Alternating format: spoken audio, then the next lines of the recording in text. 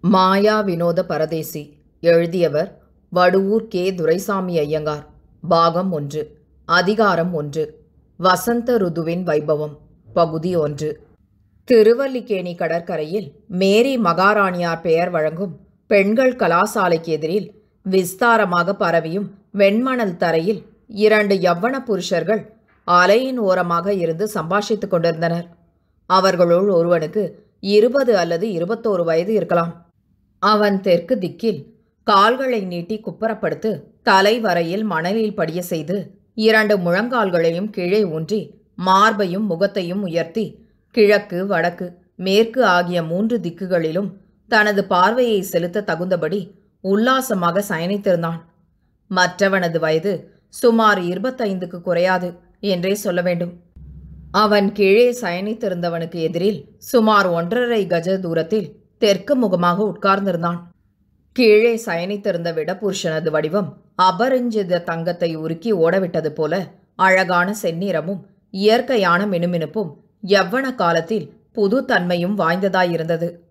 அவனது உச்சி முதல் உள்ளங்கால் வரையில் உள்ள ஒவ்வொரு அங்கத்திலும் மிருது தன்மையும் செழுமையும் அழகும் சம்பூர்ணமாக நிறைந்து தோன்றின.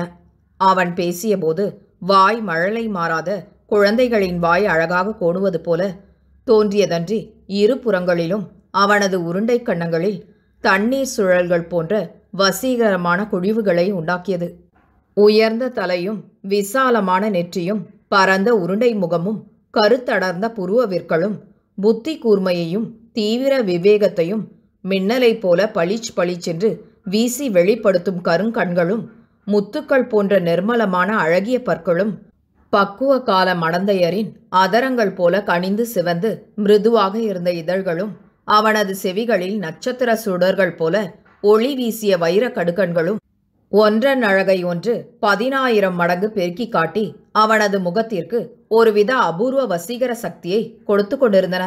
அந்த மன்மத புருஷன் ஏதாகிலும் பேச வேண்டும் என்று மனத்தில் நினைக்கும் போதே அவனது சுந்தர வதனத்தில் ஒருவித மந்தகாசமும் மலர்ச்சியும் முன்னாகவே தோன்றி நின்று அவனது மனத்தில் எப்போதும் நற்குணமும் அந்தமும் இயற்கையிலேயே பரிபூரணமாக நிறைந்திருக்கின்றன என்பதை தெளிதில் காட்டின.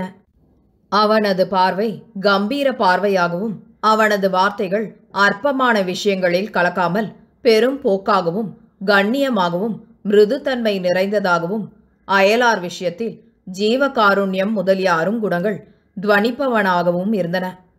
அவனது சிரத்தில் கரும்பட்டு போல தோன்றி கருத்தடர்ந்து நீண்டு நெளிந்திருந்த வசீகரமான தலைமயிரை அவன் ஒரு சிறிய தேங்காய் அளவு முடிந்து பின் கழுத்தில் விட்டிருந்தது. ஒரு பக்கமாக சாய்ந்து தொங்கிக் கொண்டிருந்தது. அவன் அன்றைய தினமே ஷவரம் செய்து கொண்டிருந்தவன். ஆகையால் அவனது நடுத்தலையில் குறுக்காகவும் வளைவாகவும் வெட்டி விடப்பட்டிருந்த கன்று குடுமி தோட்டங்களில் காணப்படும் ஒழுங்கான மருதாணி வேலியைப் போல காணப்பட்டது. நெற்றியின் நடுவிற்கு சிறிது இரக்கமாக ஒரு தேத்தாங்கொட்டை அகலத்தில் சந்தன புட்டு வைக்கப்பட்டிருந்தது. அவன் தனது இடுப்பில் தக தகவென மின்னிய அகன்ற ஜரிகையுள்ள தும்பை பூவைப் போல வெளுத்திருந்த பட்டு கலந்த ஜரிகை வஸ்திரம் ஒன்றையும் உடம்பில் உயர்ந்த பட்டு ஷர்ட்டையும் அதற்கு மேல் முற்றிலும் ஜரிகையினாலும் சிவப்பு பட்டினாலும் நெய்யப்பெற்ற உருமாலை ஒன்றையும் அணிந்திருந்தான். நவரத்தினங்கள் இழைத்த சுமார் ஆயிரம் ரூபாய் விலையுள்ள சிறிய கைக்கடிகாரம். வைரம் இழைத்த தங்க சங்கிலியால் அவனது இடது கை மணிக்கட்டில் கட்டப்பட்டிருந்தது. இவனது இரண்டு கைகளிலும் வைரம் வைடூரியம் முதலிய உயர்ந்த ரக கற்கள் குயிற்றிய மோதிரங்கள் பல விரல்களிலும் காணப்பட்டன. அவனது இயற்கை கட்டழகும் காந்தியும் செயற்கை அலங்காரமும் ஒன்று சேர்ந்து அவனை காணும் ஆண் பெண் பாலார் அனைவரும் மென்மேலும் அவனை ஆசையோடு கூர்ந்து நோக்கும்படியான ஒருவித அற்புத கவர்ச்சியை உண்டாக்கின அன்றி அவன் ஒரு மகாராஜனது குமாரனோ? அல்லது யாதும் ஒரு சமஸ்தானாதிபதியின் பட்ட குழந்தையோ என்ற எண்ணத்தை உண்டாக்கின. இத்தகைய ஸ்லாக்கியமான விடபுருஷனுக்கு எதிரில் உட்கார்ந்திருந்த மற்றவன் மாநிறமாகவும் அதிக அழகில்லாத சாதாரண வடிவம் உடையவனாகவும் விலையுயர்ந்த ஆடை ஆபரணங்கள் அணியாதவனாகவும் இருந்தான். ஆனாலும் தீவிர புத்தியும் திட சித்தமும் எதை குறித்தும் மழமளவென்று விரைவில் பேசும் திறமையும் வாய்ந்தவனாக இருந்தான். ராக்காலத்தின் சக்கரவர்த்தினி பவனி புறப்படப் போகிறாள் என்று பிரஜைகளுக்கு பறை அறிவிப்பது போல அலைகள் எல்லாம் கொந்தளித்து எழுந்து ஆனந்த வெறி கொண்டு ஓடி வந்து கரையில் மோதி மோதி திரும்பி எதிர்கொண்டு சென்றன. ராஜாத்தியின் பணிப்பெண் இளந்தென்றல் வடிவமாக தோன்றி இனிமையையும் குளிர்ச்சியையும் அள்ளி நாலா பக்கங்களிலும் வீசி எல்லோருக்கும் அபயஹஸ்தம் அளிப்பவர் போல வெளிப்பட்டு எங்கும் நிறைந்து போயினர். அன்றைய தினம் பௌர்ணமி திதியாதலால் சம்பூர்ண பிம்ப வடிவமாக தாரகைகளின் சக்கரவர்த்தினி அப்போதே நீராடி சுத்தமாக அலங்கரித்து கொண்டு எழுந்தாள். மேலே விவரிக்கப்பட்ட மணலில் சயனித்திருந்த சுந்தர ரூபன் மேற்கு திக்கில் சூரியன் அஸ்தமித்ததையே வியப்போடும் மகிழ்ச்சியோடும் பார்த்து கொண்டிருந்து சிறிது நேரம் கழித்து கிழக்கில் திரும்ப அந்த திசையில் இன்பமயமாக எழுந்து நின்ற சந்திரன் அவன் திருஷ்டியில் பட்டது. அவன் மட்டற்ற குதூகலமும் பூரிப்பும் அடைந்து அடே கோபால்சாமி அதோ கிழக்கு பக்கம் பாரடா. இப்போது மேற்கு திக்கில் மறைந்த சூரியனே திரும்பவும் கிழக்கு திக்கில் வந்துவிட்டது போல இருக்கிறது பார்த்தாயா? இன்று சந்திர பிம்பம் எவ்வளவு பெரியதாக இருக்கிறது பார்? என்றான். அதை கேட்ட கோபால்சாமி என்று பௌர்ணமி அல்லவா? அதனால்தான் சந்திரன் பூர்ண வடிவத்தோடு இருக்கிறது. நாமும் இத்தனை வருஷமாக இந்த சென்னப்பட்டணத்திலிருந்து படித்து கொண்டிருக்கிறோம் இதுவரையில் நாம் இந்த இடத்துக்கு வராமல் இருந்தது நம்முடைய துரதிருஷ்டம் என்றே நினைக்கிறேன். இந்த இடம் மோகினி தேவியின் சிங்கார வனம் போல அல்லவா தோன்றுகிறது. ஆகா எந்த பக்கம் பார்த்தாலும் நேத்திர ஆனந்தமாக இருக்கிறதே. ஸ்வர்கலோகம் என்று ஓர் இடம் எங்கேயோ இருக்கிறது என்று சொல்லுகிறார்களே. அது இந்த இடம்தான் என்று நினைக்கிறேன். அதோ பார் மேற்கு திக்கில் சவுக்கு மரங்களே நிறைந்த தோப்புகளும் தெய்வ தச்சனாகிய மயனால் நிர்மாணிக்கப்பட்டவையோ என காண்போர் பிரமிக்கத்தக்க அற்புதமான மாட மாளிகைகளும் நிறைந்திருப்பதும் கிழக்கு திக்கில் கண்ணு கெட்டிய தூரம் வரையில் கடல் சுத்தமாக பரவி இருப்பதும் அப்சர ஸ்திரீகளை பழித்த அபூர்வ வனப்புடைய எவ்வன மங்கையர் பலவித உடைகளிலும் அலங்காரங்களிலும் மேரி மகாராணியார் கலாசாலை மாளிகையில் ஆங்காங்கு புஸ்தகமும் கையுமாக நின்று படிப்பதும் ஒருவரோடு ஒருவர் உல்லாசமாக பேசியும் விளையாடியும் மயில்களைப் போலவும் மான்களைப் போலவும் மாடப் புறாக்களைப் போலவும் காணப்படுவதும் ஒன்று கூடிய இந்த மகா அருமையான காட்சியைப் போல இந்த லோகத்திலும் வேறு எந்த லோகத்திலும் நாம் காண முடியாது என்றே நினைக்கிறேன். அதோ அந்த பக்கம் திரும்பிப்பார் அனாதைகளான கைம்பெண்கள் வசிப்பதற்கும் கல்வி பயில்வதற்கும் உபயோகப்படுத்தப்படும் மாளிகை எப்படி இருக்கிறது பார்த்தாயா? அது பழைய காலத்தில் இருந்த நம் தேசத்து அரசர்களுடைய கோட்டைகள் போல அல்லவா? மகா புதுமையாக இருக்கிறது. கந்தசாமி நான் எத்தனையோ தடவை உன்னை கூப்பிட்டும். நீ வரமாட்டேன் என்று சொல்லி வேண்டா வெறுப்பாக இன்று வந்தாயே. இந்த இடம் எப்படி இருக்கிறது பார்த்தாயா? என்றான். அதை கேட்ட கந்தசாமி என்ற கட்டழகன் மந்தஹாசம் தவழ்ந்த முகத்தோடு சந்தோஷமாக பேசத் தொடங்கினான். ஆம் வாஸ்தவம்தான். இதுவரையில் இந்த இடத்தை நாம் பார்க்காமல் போனோமே என்ற விசனம் எனக்கும் உண்டாகிறது. ஆனால் என் மனசில் ஒரு சந்தேகமும் பிறக்கிறது. நம்முடைய பெண்மக்கள் இருந்து படிப்பதற்கு எவ்வளவு பெரிய பட்டணத்தில் ஊருக்குள்ளாகவே இந்த துரைதனத்தாருக்கு ஒரு நல்ல இடம் அகப்படவில்லையா? இப்படிப்பட்ட தனிக்காட்டில் இரண்டு பெரிய மயானங்களுக்கு நடுவில் தானா கொண்டு வந்து இவ்வளவு முக்கியமான கலாசாலையை ஸ்தாபிக்க வேண்டும். இன்று பௌர்ணமி ஆதலால் நிலவு பால் போல் இருக்கிறது. எல்லாம் பார்ப்பதற்கு அற்புதமாகவும் மனசை மோகிக்க செய்வதாகவும் இருக்கிறது. இருளே மயமாக இருக்கும் அமாவாசை காலமாக இருந்தால் இந்த மாளிகைகளுக்குள் இருக்கும் நமது பெண்மணிகள் ராக்காலங்களில் வெளியே தலையை நீட்டவும் துணிவார்களா? அதுவும் இன்றி இரண்டு திக்குகளில் மயானங்கள் இருப்பது நம் குழந்தைகளுக்கு தெரியாமல் இருக்காது. அப்படி இருக்க எப்படிப்பட்ட துணிகரமான நெஞ்சுடையவர்களும் இருளில் இந்த இடத்தில் இருக்க அஞ்சுவார்கள் என்றே நினைக்கிறேன். வெள்ளைக்கார துரைதனத்தார் முட்டாள்கள் அல்ல. நான் சொன்ன இந்த ஆட்சேபம் அவர்களுடைய மனசில் பட்டிருக்காதென்று நாம் நினைப்பதற்கில்லை. வேறு ஏதாவது முக்கியமான நோக்கத்தோடுதான் அவர்கள் இந்த இரண்டு ஸ்தாபனங்களையும் இவ்விடத்தில் வைத்திருக்க வேண்டும் என்று நினைக்கிறேன். இருந்தாலும் அவர்கள் இன்னொரு காரியம் செய்திருந்தால் அது ஒரு விதத்தில் நலமாக இருந்திருக்கும்.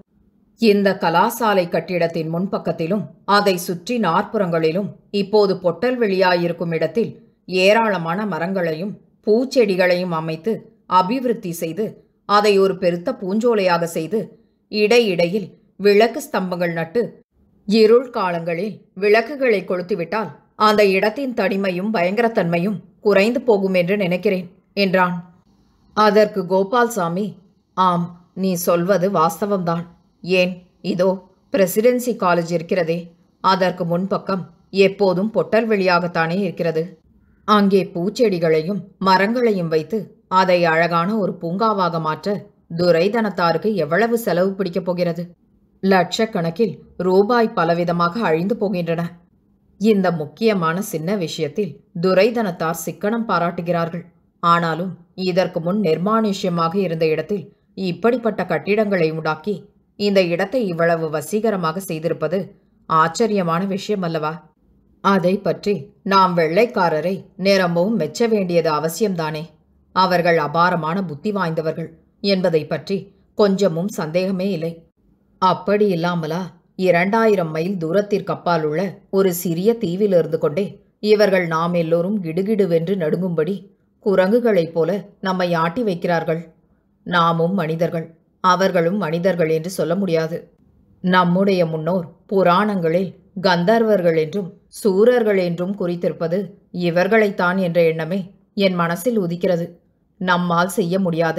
எவ்வளவோ அற்புதமான அரிய காரியங்களை இவர்கள் செய்கிறார்கள் பார்த்தாயா? உதாரணமாக இந்த மின்சார சக்தியை வைத்துக்கொண்டு அவர்கள் எவ்வளவு அரிய பெரிய காரியங்களை சாதித்துக் கொள்கிறார்கள் பார்த்தாயா? ஒரு பட்டணம் முழுவதிலும் உள்ள விளக்குகள் எல்லாம் என்ன இல்லாமல் இந்த மின்சார சக்தியினால் எரிகின்றன. ஆகா மின்சார சக்தி ஒன்று இருக்கிறதென்று நம்முடைய முன்னோர்கள் கனவு கூட கண்டு இருக்க மாட்டார்கள். ஒருவேளை நம்முடைய முன்னோர்கள் மின்சார சக்தியைத்தான் யட்சணி தேவதை என்றும் மந்திர சக்தியொன்றும் சொல்லியிருப்பார்களோ என்னவோ தெரியவில்லை. இதற்கு முன் கம்பிகள் மூலமாக தந்திகள் அனுப்பினார்கள். இப்போது கம்பி இல்லாமல் ஆகாய வெளியில் இரண்டாயிரம் மைலுக்கப்பால் உள்ள அவர்களுடைய தேசத்திலிருந்து செய்திகள் உடனுக்குடன் வருகின்றன. அதுவுமின்றி இப்போது இன்னொரு புதுமையான ஏற்பாடும் செய்திருக்கிறார்கள். ஒருவர் ரூபாய் அறநூறு கொடுத்தால் அவருடைய வீட்டில் ஒரு கம்பத்தை நட்டு வேறு சில இயந்திரங்களை அவ்விடத்தில் வைக்கிறார்கள்.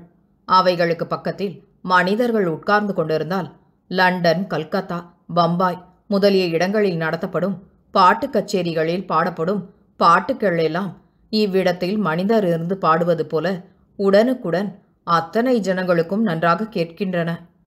இது எப்படிப்பட்ட புதுமை பார்த்தாயா? அதற்கு இப்போது ரூபாய் அறநூறு தான் செலவு பிடிக்கிறது. காலக்கிரமத்தில் அது நிரம்பும் குறைந்து நூறு அல்லது ஐம்பதுக்கு வந்துவிடும். அந்த இயந்திரங்களை அநேகமாய் எல்லா வீட்டிலும் வைத்துக்கொள்ளலாம் அயலூர்களில் உள்ள மனிதர்களோடு உடனுக்குடன் பேசலாம். அங்கே நடக்கும் பாட்டு கச்சேரிகளை எல்லாம் எல்லோரும் கேட்கலாம். இன்னும் சொற்ப காலம் போனால் மனிதருடைய வடிவத்தை யந்திரத்தின் மூலமாய் நாம் உடனுக்குடன் பார்க்கும்படி செய்து அவர்களோடு நேருக்கு நேர் பேசும்படி செய்வார்கள் என்பதை பற்றி சந்தேகமே இல்லை. அப்போது ஒருவருக்கொருவர் கடிதம் எழுத வேண்டிய அவசியமும் இல்லை. நேரில் ஊருக்கு போய் பார்க்க வேண்டிய அவசியமும் இல்லாமல் போய்விடும் என்று நினைக்கிறேன். அப்போது தபால் இலாக்காவிலும் ரயில் இலாக்காவிலும் வருமானம் அடியோடு குறைந்து போகும் என்பது நிச்சயம். அதை கேட்ட கந்தசாமி ஆம் வாஸ்தவம்தான். எந்திர வித்தைகள் அதிகமாய் உபயோகத்துக்கு வர வர மனிதர்களுக்கு வேலையே இல்லாமல் போய்விடுவது சகஜம்தானே. வெள்ளைக்காரர்கள் செத்தவரை பிழைக்க வைக்கிற ரகசியம் ஒன்றை தவிர மற்ற எல்லா ரகசியங்களையும் கண்டுபிடித்து விட்டார்கள். அதற்கு கோபால்சாமி அதை மாத்திரம் அவர்கள் விட்டுவிட்டார்களோ அன்றைய தினம் பத்திரிகையில் நாம் படிக்கவில்லையா? ஜெர்மனியில் யாரோ ஒரு சாஸ்திர நிபுணர் மனிதரை என்றும் சிரஞ்சீவி ஆக்கக்கூடிய ரகசியத்தை கண்டுபிடித்து விட்டாராம். குரங்கின் தொண்டையில் உமிழ்நீர் ஊறும் ஸ்தானங்களை எடுத்து மனிதருடைய தொண்டையில் அதே ஸ்தானத்தில் வைத்து ஒட்டுவேலை செய்துவிட்டால் மனிதர் எப்போதும் பாலிய பருவத்தினராகவே இருந்து விடுவார்களாம். அந்த நிபுணர் அப்படி இரண்டொருவருக்கு செய்து அதை நிரூபித்து காட்டியிருக்கிறாராம். ஆனால் அதற்கு ஏராளமான குரங்குகள் தேவையாம். சீமையில் அத்தனை குரங்குகள் அகப்படவில்லையாம். நம்முடைய இந்தியாவில் உள்ள குரங்குகளை பிடித்து கப்பல் கப்பலாக பம்பாயிலிருந்து அனுப்புவதாக அன்றைய தினம் நான் படித்து சொன்னதை நீ கவனிக்கவில்லை போலிருக்கிறது என்றான். அதை கேட்ட கந்தசாமி ஓ அப்படியா சங்கதி நீ படித்ததை நான் அவ்வளவு நன்றாக கவனித்து கேட்கவில்லை. எல்லா ரகசியங்களையும் ஜெர்மனிக்காரர்கள் தான் கண்டுபிடிக்கிறார்கள். மற்றவர்கள் உடனே அதை எடுத்துக்கொள்கிறார்கள். இப்போது நடந்த ஜெர்மனி சண்டையில் எதிரிகள் எப்பேற்பட்ட புதிய புதிய எந்திரங்களையும் தண்ணீருக்குள் மறைந்து அடிக்கும் கப்பல்களையும் நூறு மைல் தூரம் போய் வெடிக்கக்கூடிய குண்டுகளையும் கண்ணுக்கு தெரியாத ஆகாய விமானங்களையும் கொண்டு வந்து காட்டி இந்த உலகத்தையே பிரமிக்க செய்தார்கள். நம்முடைய இங்கிலீஷ்காரர்கள் அவைகளை பார்த்த பிறகுதான் எல்லாவற்றையும் செய்தார்கள் என்று நாம் பத்திரிகைகளில் படிக்கவில்லையா? ஜெர்மனியார் அநாகரிகமான காட்டு மனிதர்கள் என்று இங்கிலீஷ்காரர்கள் அவர்களை இகழ்ந்து ஏளனமாக பேசினாலும் அவர்களுடைய தேசத்திலிருந்துதான் அதிமானுஷ்யத்தன்மை வாய்ந்த தெய்வீக செய்கைகளெல்லாம் வெளியாகின்றன.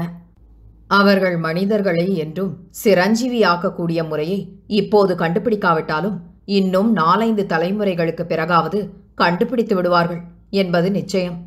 இப்போது அவர்கள் மனிதர் நூற்றி ஐம்பது இருநூறு வயது வரையில் ஜீவித்திருக்கும் வழியை ஒருவேளை கண்டுபிடித்தாலும் பிடிக்கலாம். அவ்வளவுதான் இப்போது சாத்தியமாகும் என்று நினைக்கிறேன். ஏன்? நம்முடைய முன்னோர்களும் ரிஷிகளும் பல நூற்றாண்டுகள் உயிரோடு இருந்ததாக நாம் படித்திருக்கிறோம் அல்லவா? இப்போது நம்முடைய அனுபவத்திலேயே எத்தனையோ பேர் நூறு வயசு தொண்ணூறு வயசு இருந்து இறக்கிறதை கண்டிருக்கிறோம் அல்லவா? அதற்கு கோபால்சாமி மெய்தான் மனிதர்கள் நீண்ட ஆயுசு உடையவர்களாகவும் சிரஞ்சீவிகளாகவும் ஆகிவிட்டால் பிரம்மதேவன் யமன் முதலிய தெய்வங்களுக்கெல்லாம் உத்தியோகம் போய்விடுமே என்றான். அதை கேட்ட கந்தசாமி ஆம் அப்படித்தான் முடியும். யந்திரங்களும் தந்திரங்களும் அதிகரிக்க அதிகரிக்க மனிதருக்கு எப்படி வேலை இல்லாமல் போகிறதோ அதுபோல தெய்வங்களுக்கும் வேலை இல்லாமல் போவது சகஜம்தானே? நாம் நன்றாக யோசனை செய்து பார்க்க போனால் நம்மை போன்ற ஜீவ ஜந்துக்கள் எல்லாம் நேரம் காட்டும் கடிகாரங்களுக்கு சமம் என்றுதான் நினைக்க வேண்டி வரும் போலிருக்கிறது கடிகாரத்திற்குள் கெட்டியான சக்கரங்கள் முதலிய எந்திரங்களை வைத்துவிட்டால் அது என்றும் சிரஞ்சீவியாக ஓடிக்கொண்டிருக்கவில்லையா? அதுபோல நம்முடைய உடம்பில் உள்ள கருவிகளையும் பலப்படுத்துவதால் நம்முடைய ஆயுசு காலம் அதிகரிக்குமானால் இன்னும் அதிக சூட்சமமான தந்திரங்களால் நாம் நம்மை சிரஞ்சீவியாக்கிக் கொள்வது ஏன் முடியாது? அப்போது நம்முடைய உடம்பிற்குள் ஜீவாத்மா என்று ஒன்று இருக்கிறதென்றும் அதுதான் பூர்வ கர்ம பலத்தின்படி ஜென்மம் எடுக்கிறதென்றும் ஒவ்வொரு ஜந்துவிற்கும் பிரம்மனால் ஏற்படுத்தப்பட்ட கால வரம்புக்கு மேல் ஒரு நொடி நேரம் கூட உயிரோடு இருக்க முடியாது என்றும் நம்முடைய பெரியோர்கள் கண்டுபிடித்திருக்கும் தத்துவங்களை எல்லாம் இனி நாம் குப்பையில் போட வேண்டியதாகத்தானே முடியும். தேக கருவிகளின் வலுவினால் மனிதன் சிரஞ்சீவியாகிவிடுவான். ஆனால் மனிதனுக்குள் ஜீவாத்மா என்று ஒன்று இருக்கிறது என்பது பொய்யாகி விடுகிறதல்லவா? என்றான். உடனே கோபால்சாமி ஏன் பொய்யாகிறது? நம்முடைய முன்னோர் அப்படியொன்றும் முடிவாக சொல்ல காணுமே. பொதுவாக ஜீவராசிகள் தங்களுக்கு ஏற்படுத்தப்பட்டுள்ள கால வரம்பிற்கு அதிகமாக இருக்க முடியாதென்றால் அது பல விஷயங்களை அடக்கியதாக இருக்கிறது. ஒரு குழந்தை பிறக்கிறது. ஆரம்பத்தில் அதற்கு ஏற்படும் தேகவலு அதன் தாய் தகப்பன்மாருடைய தேக மனோபலங்களையும் அவர்களுடைய சுக சௌகரியங்களையும் பொறுத்ததாக இருக்கிறது. அதன் பிறகு அது வளரும்போது அதற்கு கிடைக்கும் தேக போஷணை செல்வாக்கு அதன் தேக உழைப்பு பழக்க வழக்கங்கள் முதலியவற்றால் அதன் ஆரோக்கியம் பலாபலம் ஆயுசு முதலியவை அமைகின்றன. மனிதருடைய பிறப்பு செல்வம் சுகம் முதலிய அம்சங்கள் எல்லாம் பூர்வ ஜென்ம சுகீர்த்தத்தால் உண்டாகின்றன. ஆகையால் அவற்றால் நிர்ணயிக்கப்படும் தேக ஆரோக்கியம் ஆயுசு முதலியவைகளை பூர்வ ஜென்ம கர்மாபலன் என்று சொல்லிவிடுகிறார்கள். நம்முடைய ரிஷிகள் யோகாபியாசம் செய்து தங்களுடைய ஆயுசை நூற்றுக்கணக்காக வளர்த்தி கொண்டதாக கேள்வியுறுகிறோம். நம்முடைய சாஸ்திரங்களில் ஆயுசு விருத்திக்காக ஹோமங்கள் பிராயச்சித்தங்கள் தாது புஷ்டி மருந்துகள் முதலியவைகள் சொல்லப்பட்டு இருக்கின்றன. அதுவுமன்றி தேவாமிர்தம் என்று ஒரு வஸ்து இருப்பதாகவும் அதை உண்போர் மூப்பு பிணியின்றி என்றும் சிரஞ்சீவியாக இருப்பதாகவும் படித்திருக்கிறோம் அல்லவா ஜீவாத்மா பூர்வ ஜென்ம கர்மா முதலிய விஷயங்கள் சொல்லப்பட்டிருக்கும் அதே சாஸ்திரங்கள் தானே இந்த விஷயங்களையும் சொல்லியிருக்கின்றன. ஆகையால் நாம் இரண்டையும் நிஜமாகவே நம்ப வேண்டியதுதான். இவை ஒன்றுக்கொன்று முரண்படுவதாக நினைப்பது சரியல்ல. கந்தசாமி சந்தோஷமாக புன்னகை செய்து நான் இன்னொரு மாதிரியாக எண்ணுகிறேன். ஆதி காலத்தில் நம்முடைய முன்னோர்கள் வடக்கில் உள்ள ஹிமாலய பர்வதத்தில் ஏறியே அப்பால் உள்ள தேசங்களுக்கெல்லாம் போக்குவரத்து வைத்துக் கொண்டிருந்தார்கள். ஆகையால் அதற்கு அப்பால் இருந்தவர்களையெல்லாம் கந்தர்வர்கள் என்றும் அவுணர்கள் என்றும் அசுரர்கள் என்றும் தேவர்கள் என்றும் சொல்லியிருக்கிறார்கள் என்றே நான் நினைக்கிறேன். ஹிமாலய பர்வதம் ஆகாயத்தை தொட்டு கொண்டிருப்பதால் அதன் மேலே ஏறி போவதை ஆகாய லோகத்துக்கு ஏறி போவதாக மதித்திருக்கலாம். அந்த தேவர்களிடத்தில் மனிதருடைய மூப்பு பிணிகளை எல்லாம் நீக்கி சிரஞ்சீவியாக்கும் தேவாமிர்தம் இருந்ததாக சொல்லி இருக்கிறார்கள் அல்லவா? ஒருவேளை இந்த ஜெர்மனி தேசத்தாரே அந்த தேவர்களாக இருந்திருக்கலாம். அவர்களிடம் ஆகாய விமானங்கள் தேவாமிர்தம் முதலியவை இருந்திருக்கலாம். தேவாமிரதம் முதலில் அவ்விடத்திலிருந்து நடுவில் இல்லாமல் போய் இப்போது மறுபடியும் அங்கே உண்டாகலாம் அல்லவா? அந்த தேசத்திற்கு போகும் வழியில் உள்ள பாரசீக தேசத்திலும் காகேசியாவிலும் உள்ள ஸ்திரீகள் எல்லோரும் அழகில் நிகரற்றவர்கள் என்று நம்முடைய பூகோள சாஸ்திரம் சொல்கிறதல்லவா? இந்த தேசத்தவர்கள்தான் நம்முடைய புராணத்து அப்சர ஸ்திரீகளாகவும் கந்தர்வ ஸ்திரீகளாகவும் இருந்திருக்க வேண்டும் என்று நினைக்கிறேன். நம்முடைய அர்ஜுனன் சந்தனு முதலியோர் தேவலோகத்துக்கு போய் தேவேந்திரனுக்கு சண்டையில் உதவி செய்திருப்பதாக புராணங்கள் சொல்கின்றன. ஐரோப்பாவில் உள்ள ரோமாபுரி சரித்திரத்தில் அந்த தேசத்தை ஆண்ட சில சக்கரவர்த்திகளிடம் இந்திய மன்னர்கள் விருந்தினராக போய் வந்ததாக சொல்லப்பட்டிருக்கிறது. எதையெல்லாம் ஒத்திட்டு பார்த்தால் நம்முடைய முன்னோர்கள் ஐரோப்பா கண்டத்தில் உள்ள வெள்ளையரையே தேவர்கள் என்றும் அசுரர்கள் என்றும் பலவாறாக மதித்து வந்தனர் என்பது தெரிகிறது.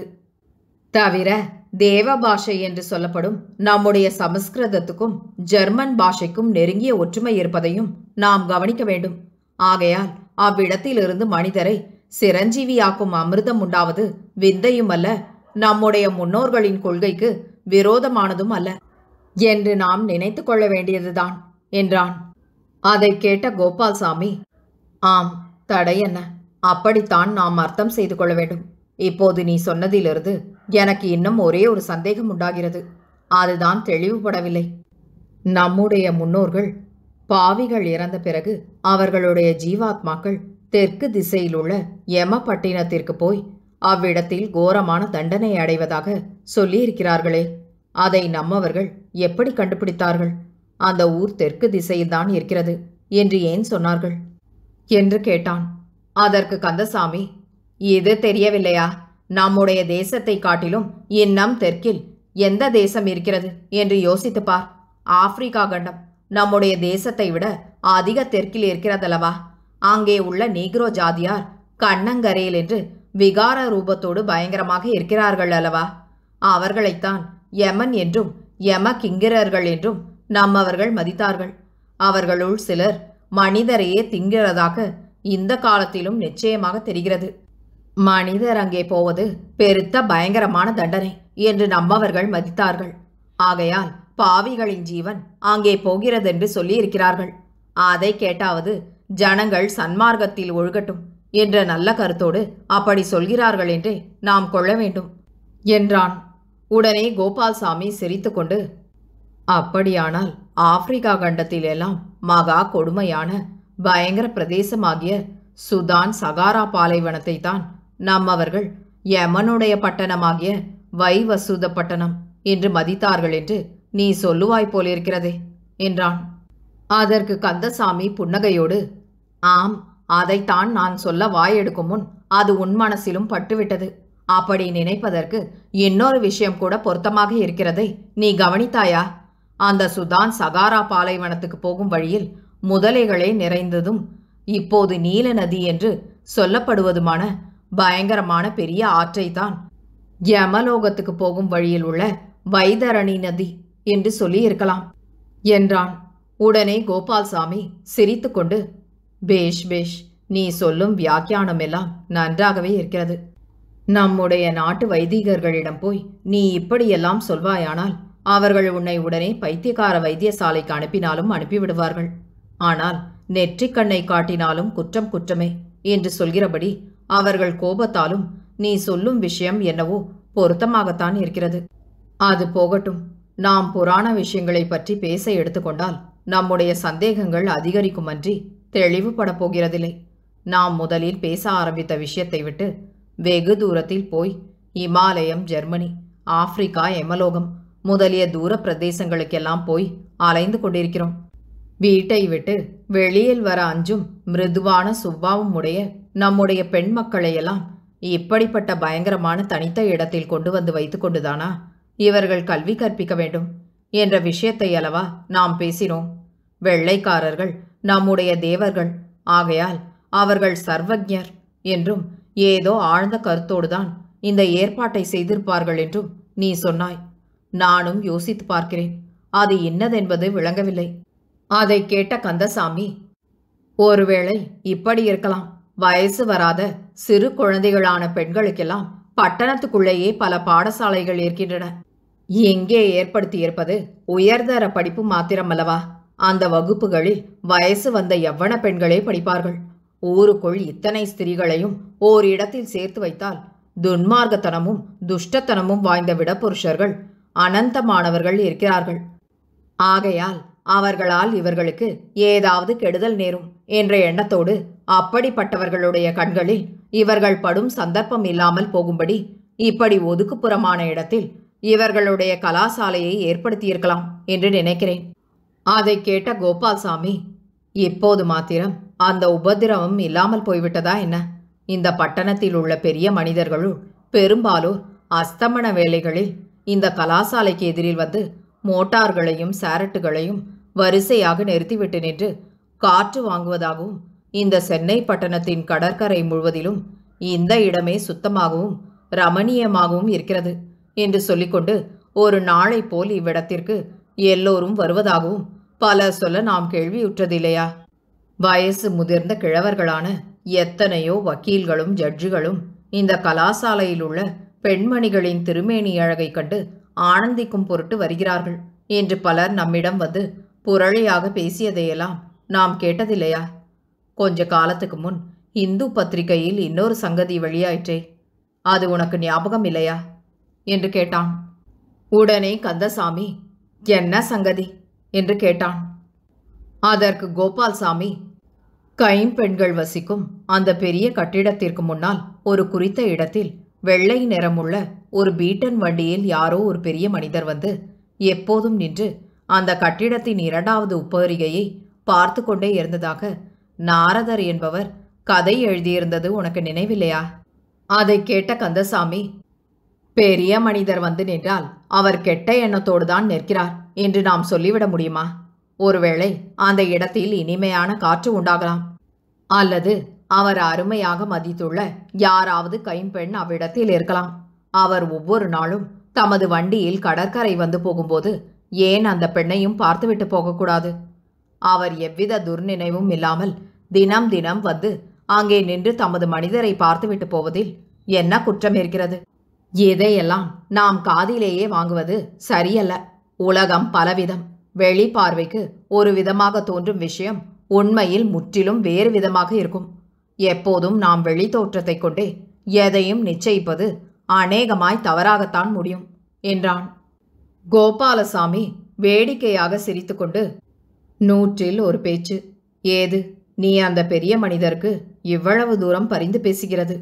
அவர் உன்னை தன் கட்சிக்கு வக்கீலாக நியமித்திருக்கிறாரா? நாம் இப்போது அந்த கட்டிடத்தின் பக்கத்தில் வந்து முடியும். ஐசோஸ் ரோட் வழியாகத்தானே வந்தோம். பாலத்துக்கு அப்பால் இருந்து வரும் காற்று எப்படி இருக்கிறதென்று பார்த்து அனுபவித்தோம் அல்லவா? அதுதான் நரகலோகம் என்று நீயே சொன்னாய். நம்முடைய பெண் குழந்தைகளை இப்படிப்பட்ட துர்நாற்றம் உள்ள இடத்தில் வசிக்க செய்திருக்கிறார்களே என்று நீதானே சொன்னாய். இப்போது பெரிய மனிதர் அவ்விடத்தில் வரும் நல்ல காற்றை கருதி அங்கே நின்று கொண்டிருக்கலாம் என்று நீ சொல்வது சரியாக இருக்கிறதா? யோசித்து பார். அது நிஜமாக இருக்காது. நீ சொல்லும் இன்னொரு யுகம் சரியானதாக இருக்கலாம். அவர் தமக்கு அருமையான மனிதர் அதற்குள் இருப்பதை கருதியோ அல்லது இருப்பதாக எண்ணி மணக்கோட்டை கட்டியோ அப்படி நின்று இருக்கலாம் என்று எனக்கு தோன்றுகிறது. ஒருவேளை அவருடைய சம்சாரம் கைம்பெண்ணாய் அதற்குள் இருக்கிறாளோ என்னவோ? என்று கூறி கலகலவென்று நகைத்தான். அதை கேட்ட கந்தசாமியும் தன்னை மீறி கழிக்கொண்டு கை கொட்டி பாலே பாலே என்று கூறி சிரித்தான். அவ்வாறு அவர்கள் இருவரும் சம்பாஷித்துக் கொண்டிருந்த சமயத்தில் சந்திரன் மேலே உயர்ந்து கொண்டே இருந்தது.